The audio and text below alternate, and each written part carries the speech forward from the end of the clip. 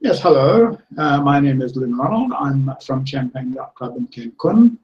And we have a, a, large number of recommended charter yachts around the world that we book from time to time. And we'd like to present you one now. It's a 60 meter Feadship that operates in the Western Mediterranean during the summer. And in the winter, it comes down to the uh, Caribbean.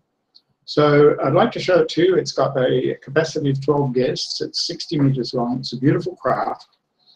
And if you have an interest to find out more about Paraffin, then let us know on this uh, YouTube channel. And we'll get back to you with all of the details about where she is, what her schedule is, and what her rates are, and what the conditions are.